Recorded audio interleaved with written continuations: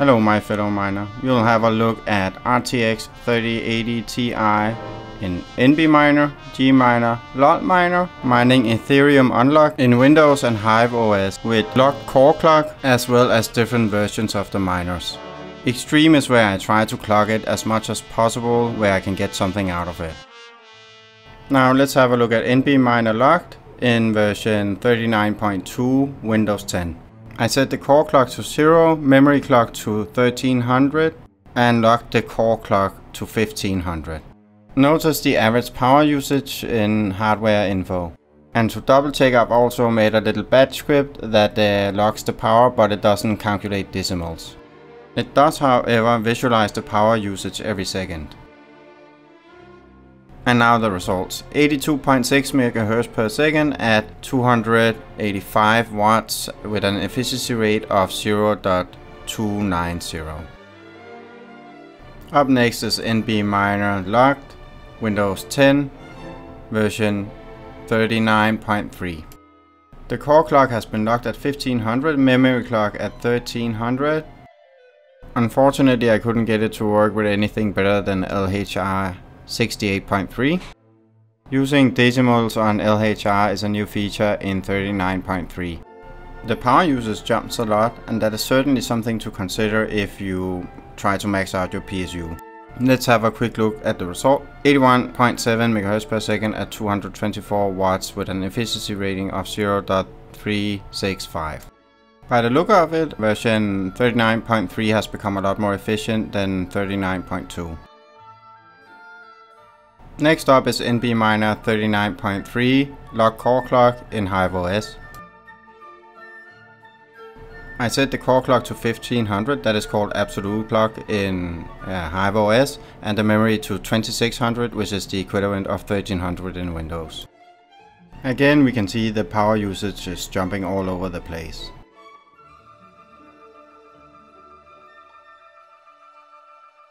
And the final results are 81.3 MHz per second at 219 watts with an efficiency rating of 0.371. Hive OS looks to be more efficient than Windows 10.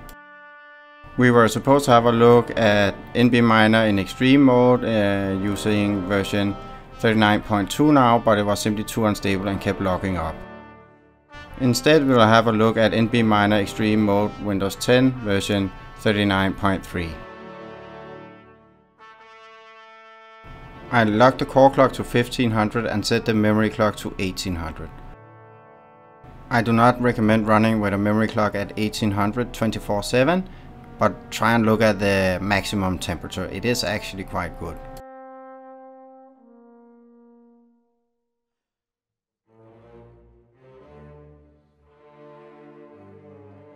And now the results. 82.9 MHz per second at 228 watts with an efficiency rating of 0.364. Up next is NB Miner and Hive OS with version 39.3 Extreme Mode. The core clock has been locked at 1500 and the memory at 3600 which is 1800 in Windows 10. By the way, this is the iChill X4 which seems to be locked in Ravencoin. For some odd reason, I just cannot get it to perform in Ravencoin at all. If you want an easy card, definitely avoid this one. And now for the results, 81.2 MHz per second at 217 watts with an efficiency rating of 0.374. In other words, the extreme mode is absent of extreme results. That concludes the NB Miner test. Now we move on to G Miner Windows 10 version 2.67 with locked core clock. Core clock has been locked at 1500, the memory is set to 1300 and we are using the LHR Tuner 2 2. Again we can see that the power usage is jumping around crazy. However the average power usage is much lower than NB Miner and that of course also reflects in the GPU temperature. And now for the results, 82.1 MHz per second at 226 watts with an efficiency rating of 0.362. It's a lot more efficient compared to NB Miner version 39.2, but looks to be on par with 39.3. However, Gminer has since released 2.68, which we are going to have a look at now. I locked the core clock to 1500 and set the memory clock to 1300. I don't really see any difference. I would guess that they haven't done anything at all since the last version on this part. Which actually makes sense because the previous version was quite good. and the results are 81.4 MHz per second at 226 watts with an efficiency rating of 0.360. I would say that given a big enough dataset, the current and previous version are performing equal to each other. If you enjoy my work, please subscribe. It actually helps me out a lot and will help me unlock the community tab so I can make daily updates. And of course engage with you more easily. Next is Gminer version 2.68 in HiveOS. The absolute core is set to 1500 and the memory is set to 2600 which is 1300 in Windows.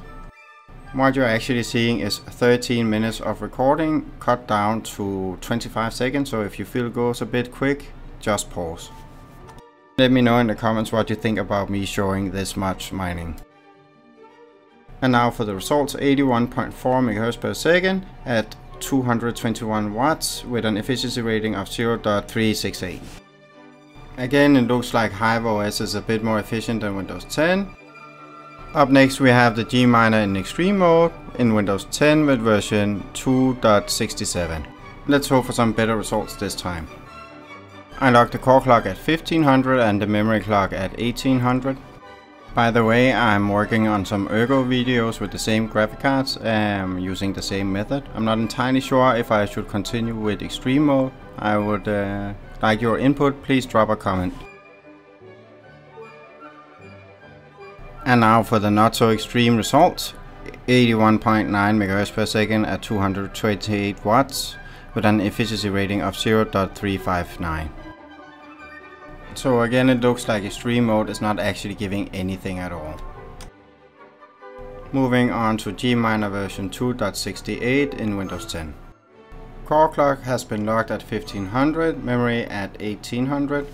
I find it a little bit weird that such a big increase in memory doesn't actually do anything. I guess it all comes down to the core clock.